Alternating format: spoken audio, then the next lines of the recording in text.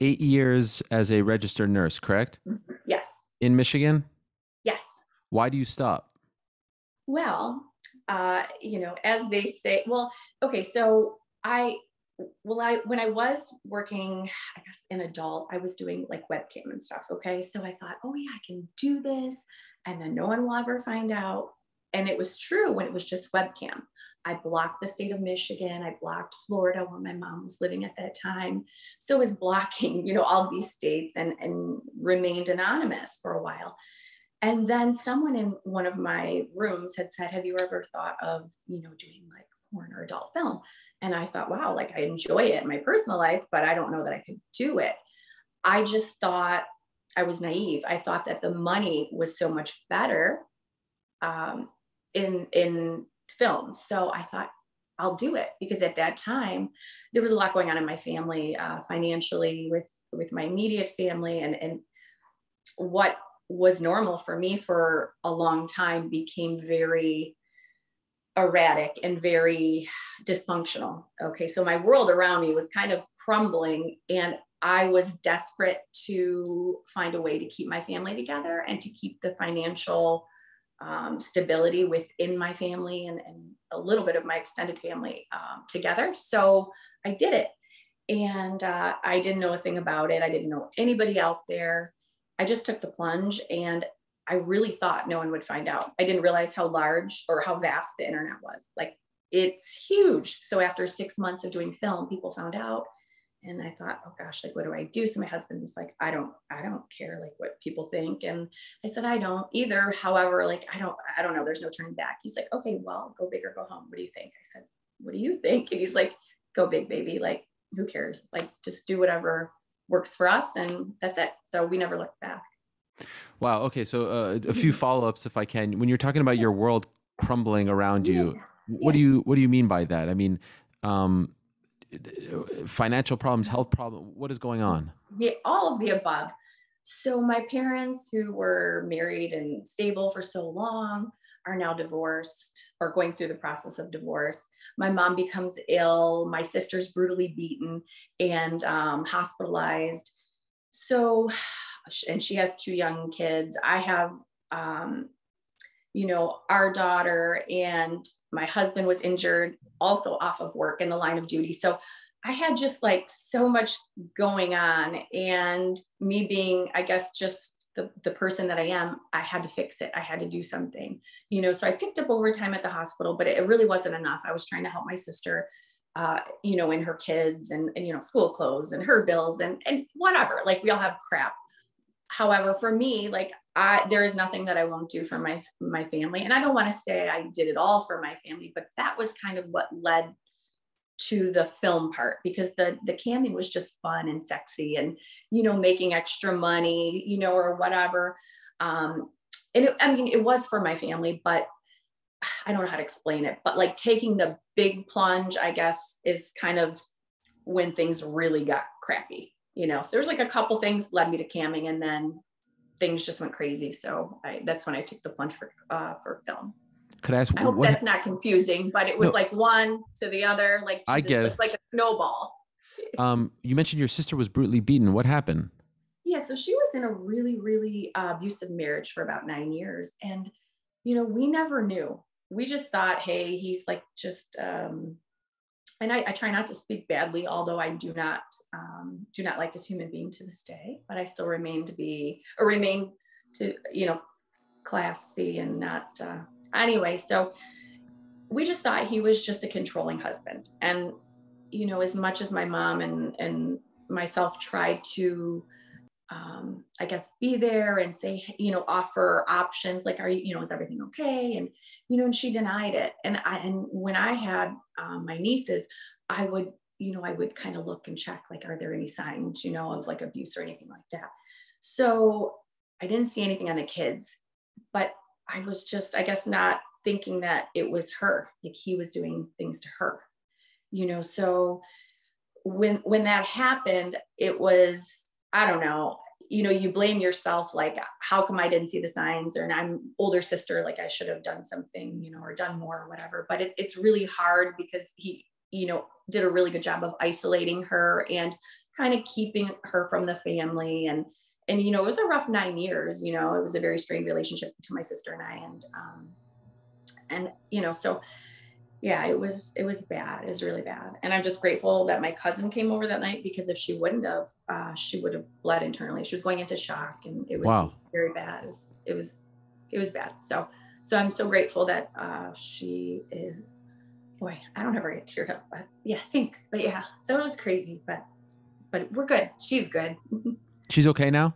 Oh yeah she's fantastic. She's in like she's in a great great relationship um, she's engaged. Um, she, yeah, she's doing great. So I'm like so proud and so happy because they say it takes a woman seven times.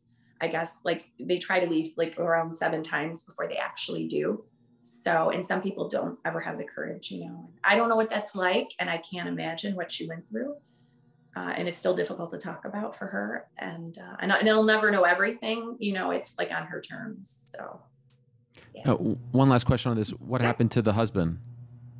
Well, he did go to jail for a short time. However, I do believe that um, she was truly afraid to do to press charges further mm. uh, out of fear of retaliation. So she didn't pursue that, and he walks free to this day. And he's in a crappy relationship. I think the one good thing that came out of it is um, that he is fearful of or he won't do that to to his new wife you know even though i know the relationship isn't great uh, because you know he knows that ultimately he will go to jail. So i mean it's going to be longer the consequences will be more severe. So um, but you know he's still to this day they were at a um, something recently and he came up to her and he says oh do I make you, do I scare you or something like that? Like he's just the master of mm. manipulation. So um, I wish my husband would have beat his ass on my mom's 50th birthday when she, when he had him up against the wall. And it took seven years for my husband to put his hands on him. But then he saw my nieces in the car and, and looked over and saw they were afraid. He set him down. He's like, "It's your lucky day, motherfucker." Can I say that? Yes. He said because you you would have needed a dentist. He said uh, you were going to become a man today, son. Like, and it was bad. So anyway, so uh, crazy. Wow. anyway, family is just fun, isn't yes, it? yes, yes, yes. It is fun. Um, so, in, in, I'm glad in a, he's in a you know out of the picture. So, but my sister still kind of has to see him, you know, because of their kids. Right. Okay. Yeah. So. In in a very weird way, um, is it possible that if these things aren't happening around you, as you say, your your world is yeah. crumbling, that you yeah. don't go down this path? You don't go down. You know, you, are just kind of the registered nurse who's doing some stuff on the side. Yeah. Is it possible that this all led to this whole other life for you? I don't. I don't want to say, uh, you know, that like oh because of or or use that as like an like a, a scapegoat or you know but i don't know that i would have felt compelled to to take it further. I probably just would have had fun, been helping my sister out here and there, and maybe you know. And it's not all my sister. Like we were having financial things too. We were living paycheck to paycheck at that time. It was just there was a lot. And then you know my dad, God rest his soul up there. Um, he was um, he went from like being Clark Griswold to being like wait what's that one movie with uh, the the bad Santa Oh, I think it's called Bad. But what's Bad the actor? Oh, um, uh, Billy, Billy Bob, Bob Thornton. Yes. Okay. He became. He went from that extreme to the other, and I love him. But it was like he became this man I didn't know, had an affair, you know, had this whole other family, paying for college for a, a student, like a child that he doesn't even know, and not paying for my school. And I'm taking care of my mom, carrying up three flights of stairs because she's sick, and you know, we drained the bank account. So it was just like, what, what is happening? Like, wow. Jesus, like it was just, you know, and a lot of people have it the other way, right? Like their childhood sucks and then maybe they make amends with their family. And, um, you know, things happen for a reason. And I'm not mad. Like I don't hold, I don't have any ill feeling. Like I just don't think it's healthy. So like I forgave my dad, you know, uh, before he passed. And, um, yeah, but it was, it was just the opposite. So first 18, 19 years and then you know, all of this like craziness happened. So, whew, it was a roller coaster. did did the hospital that you were working at did they tell you that you had to leave or did you decide to drop that and go full time into adult?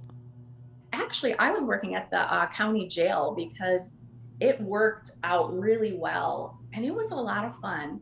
So I went from uh, hospital nursing to county jail prison nursing. Like it was, it was awesome. I What is loved that- it. What's so awesome about that? Well, okay, so my husband being a police officer, former police officer, I wanted to be able to relate. I was like, gosh, why does he ever want to talk about work?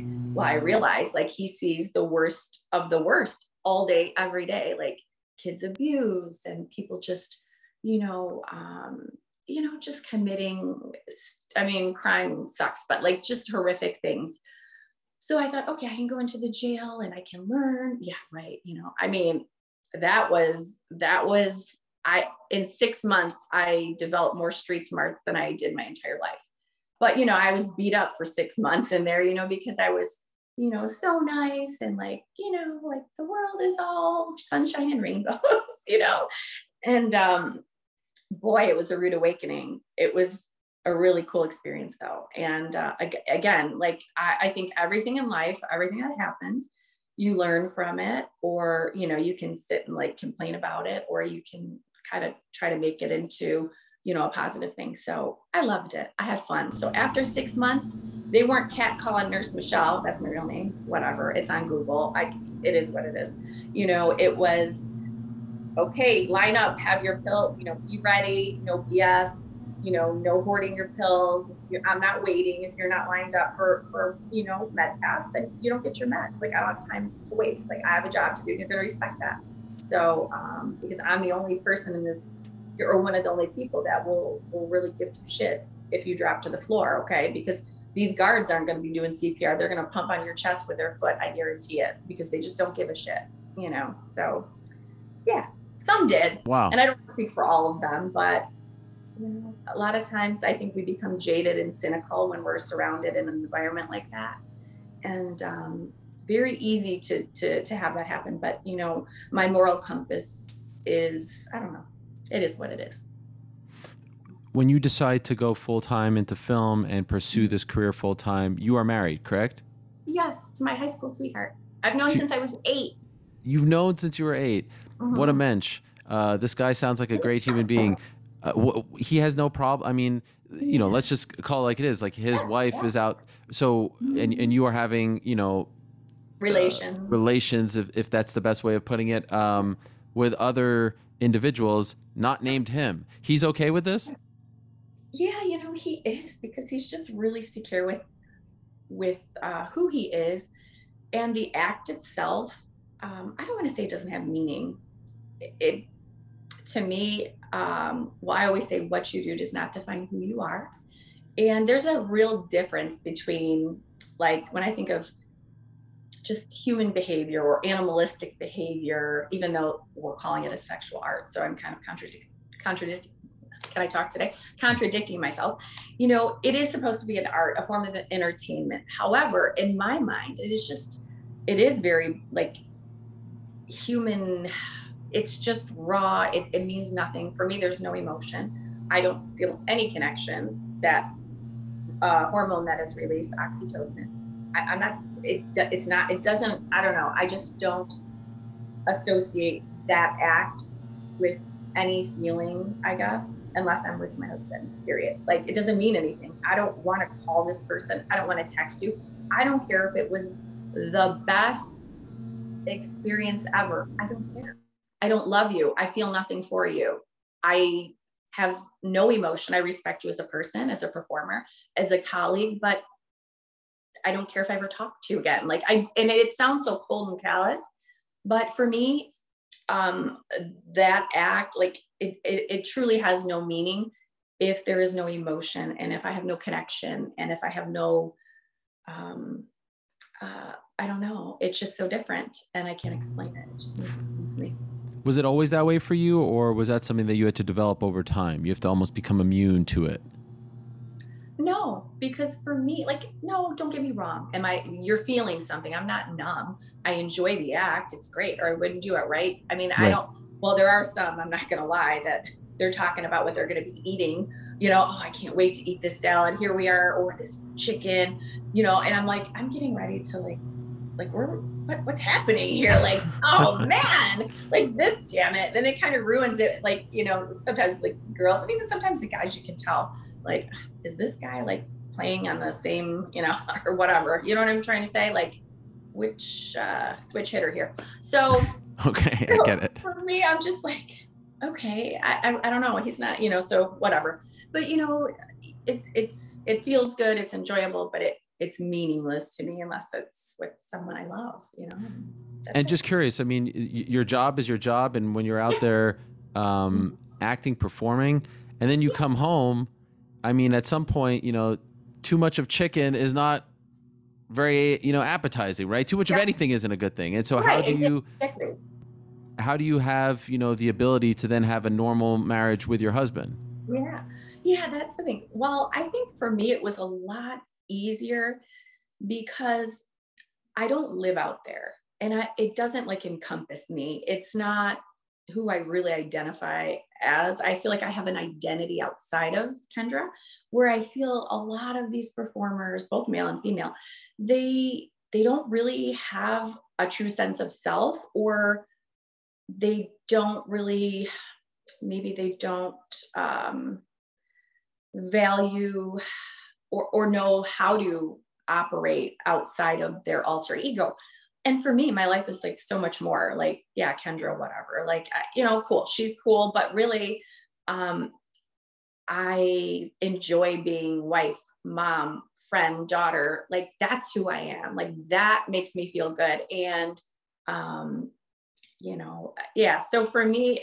and and then two like I didn't shoot a ton. So I wasn't out there weeks and you know I I go out for like maybe 4 or 5 days, come home mm. you know so it was like very short. I didn't shoot a ton all the time. I wasn't a yes girl. I didn't do things that well sometimes i'm not gonna lie i did some dumb crap. I'm like okay yeah i'm having fun. I'm like why, why would i do that? Like i'm stupid looking back. But um yeah whatever. I'm gonna go there. So but at the end of the day you know i know who i am outside of that and i'm not ashamed of you know what i do because i'm proud of my sexuality and I don't like the double standard associated with it. I think it's crap. And that's a whole nother story for another day. Which double However, standard? Which one are like, you referring to? If a male female performers, right? Male, okay. oh yeah, you're a boss, you're a pimp. Oh gotcha. yeah, you're getting all these ladies. You know, but a, a woman does it and she's this, she's that. And you know, that's not okay. I think sex is natural, right? Oh God, I almost quoted a song. Sex feels natural. Sex feels good. Anyway, whatever. It's an old song. But um, and I think we should just embrace it and be sex positive and just like if there's two consenting adults, let them do what makes them happy, right? If they're not hurting animals, children, you know, or each other, then you know, well, I guess unless they want to, um, just let them be free, you know, let them do what they want to do. Life is too short. When I die, God forbid, whatever that is, I always say, like, are people going to really care if my house is clean? Because I'm a little crazy about it. but, you know, are they going to really care, like, what I did? Right. I think people will remember you by how you made them feel, right? Like more of the positive things, or at least I hope, you know. And I, not that I view that as a negative thing, but they're not going to be like, oh, yeah, she was this, that. No, I, I know that I, I do enough good and I feel good about it. And I feel okay when I go to bed at night. Like I rest very easy at night, knowing I do what is right and like and i don't know and i give and i don't care if people say oh you're gonna go broke you know you donate you do this. You know what? I don't care i don't care like i'll do what i want to do. And he's not telling me not to and the world sure isn't going to tell me not to because hmm. i don't give a shit. Like i'm a good human and i know it so. I'm assuming your daughter knows what you do for a living? Well in 10 year old terms yes right? how, how do you explain that to her? And when do you first explain it to her Oh my God, good question. And I struggled with that question for so long. And I thought, oh my God, like, oh geez, like what the hell? Like, how am I gonna tell her? Because I don't want her to do, and that sounds hypocritical, right? However, I feel she won't have to, but I, there was a gun to my head to do it. I just think the opportunities in life for her and her her path is just going to be different you know um, because we're we're alike but we're different so i started uh, telling her when she was a little bit she was like six or seven i said you know because we were at an event and somebody had called out my name and, and she's like, why are they calling you that, mom? I'm like, mm. you know, it's like her mommy should have said at that time. You know, and I kind of explained, well, I, I do have a model name and, you know, for work or whatever. And as like each year that as she developed, you know, I, my husband and I kind of talked to her about things and um, she brought it up to me. She was just before her 10th birthday. She says, you know, mom, kids know more than you think they know. and I was like, oh, interesting. Now she has some friends who are older, like fifth and sixth graders. Now they're boys, those little shits. I love them, but you know, they're, I don't know, they're curious, right? So she's like, you know, mom, I might not always like what you do or like agree with what you do for work. She says, but I have to respect it. She goes, because it's going down either way. And dad respects it and dad knows. She goes, I have to respect it. I can't do anything about it. And I said, whew, like I just was like, I don't even know what to say. Like, where did this 10 year old come from with her, how, how she's thinking, right? So I said, well, I really appreciate that. I said, because, you know, the last thing I would ever want would be for you to not love me or hate me for something that I did. I said, and I was worried that you would be angry with me. And she's like, You're my mom. I would never, you know, I love you, mom. I was like, oh, yeah, you know, I love you too. And, and I said, but be prepared. You know, people are, no matter what you do in life, whether it's good, bad, it doesn't matter. I said, people are going to say positive things, but they're also going to say a lot of negative things. I said, and I'm sorry if people say something to you that, that will hurt, hurt your feelings, be, you know, because of me. I said, I, I you know, I, I can't control what people think or say. And I said, they are just words at the end of the day. I said, and I don't care what people say and um, I know it's different for you. She says, "Oh, I don't care." She goes, "I'll just choke them out, mom." like she hmm. was like very matter of fact, and and she's very protective. So um, I'm not say, gonna say it's not going to affect her, but I just, I guess I wanted to assure her that you know she can talk to us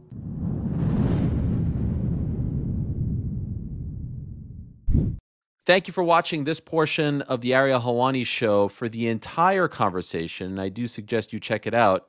Click here.